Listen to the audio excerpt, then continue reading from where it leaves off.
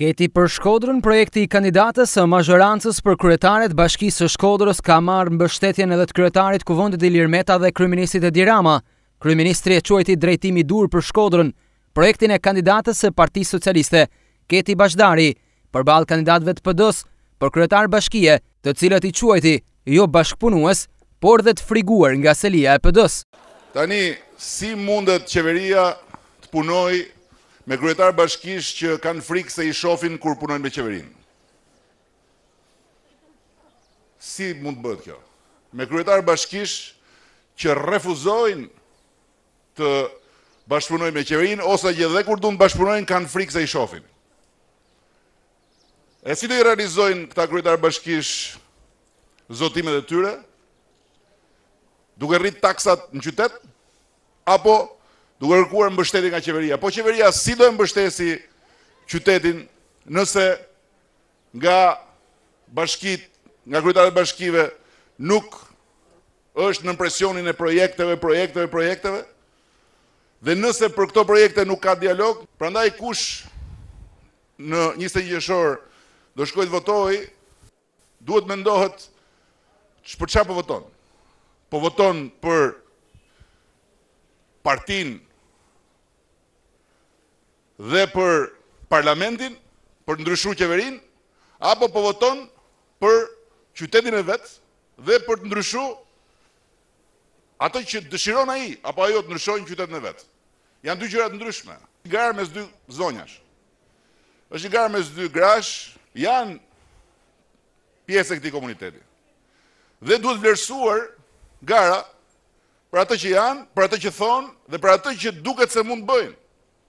Dhe këtu vjen përsëri më e thjeshtë, sepse e thjeshton fakti që Keti Bazhdari ka treguar se duke qenë askushi, duke qenë e bija e askujt në kuptimin pa asnjë krah të ngrohtë, me idetë e veta, me kurajon e vet, të bëhet një sipërmarrëse model për Shkodrën dhe për gjithë Shqipërinë, një sipërmarrëse grua nga të paktat që ne kemi.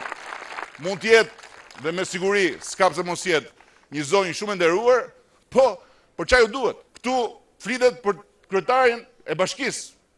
Nuk flitet për krushqi apo për të pi kafe me një komshie.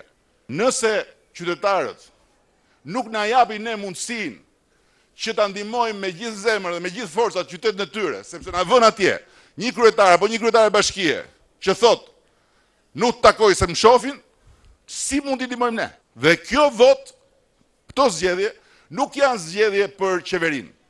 Nuk janë zgjedhje për parlamentin, janë zgjedhje për komunitetin dhe për secilin prej jush për të rritur cilësinë e jetës në qytet dhe për të marrë shërbime më të mira nga bashkia. Dhe për të gjitha këto arsye dhe të tjera që nuk po e zgjas, ka vetëm një drejtim Dhe drejtimi i duhur është Keti Bazhdari. Nga ana e saj, kandidatja e mazhorancës në zgjedhjet e njëzet e një qershorit, Keti Bazhdari, është shprehur se ka besim që të gjithë së bashku do të bëjnë të mundur t'i japin drejtimin e duhur Shkodrës. Duhet të punojnë për një të ardhme më të mirë për gjithë banorët, duke fillu Nga Thethi deri në Velipojë, për të rinj, të vjetër, biznesmenë e njerëz në nevojë, artistë, sportistë e shkencëtarë. Asnjëri nga ne nuk ka në dorë të ndryshojë vetëm shoqërinë, por secili nga ne ka në dorë të bëjë një model ndryshimi. Dhe atë model e vendos vetë në do ta bësh të mirë apo të keq. Dhe sot është fatale për krenarinë tonë, kur duhet të pyesim po sot ku jemi?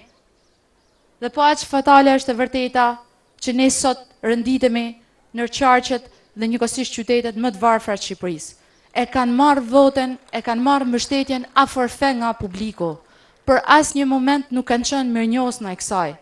Njëherë të vetme ke grup personash Nuk ka arri të dalë mi interesat e vogla personale dhe të shikojë e të kuptojë me përulësi se çfarë i kanë ofru njëzet e pesë vjet histori Shkodrës përveçse një rresht qarku dhe qyteti më i varfër.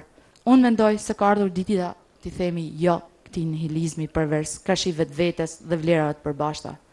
Duhet patjetër që të punojmë gjithë së bashku dhe Kemi idetë, forcën, entuziazmin, por dhe mbështetjen e duhur të kryeministrit, zotit Edi Rama dhe kryetarit të Kuvendit, zoti Ilir Meta, për ta ngritur Shkodrën në piedestalin që i takon jo vetëm Shqipëri, por edhe më tej. S'ka asnjë rëndësi drejtimi i bindjeve politike personale, ka rëndësi që ne të ecim gjithë s'bashku në drejtimin e duhur dhe t'ia ndrrojmë faqen Shkodrës. Në këtë takim prezantues ishin të pranishëm deputetë të Shkodrës, si dhe drejtues të dy forcave politike të koalicionit të majtë, ndërkohë që nuk kanë munguar edhe kureshtarët të cilët kanë ndalur hapin për t'u njohur nga afër me kandidatin që do të garojë në njëzet e një qershor për Bashkinë e Shkodrës.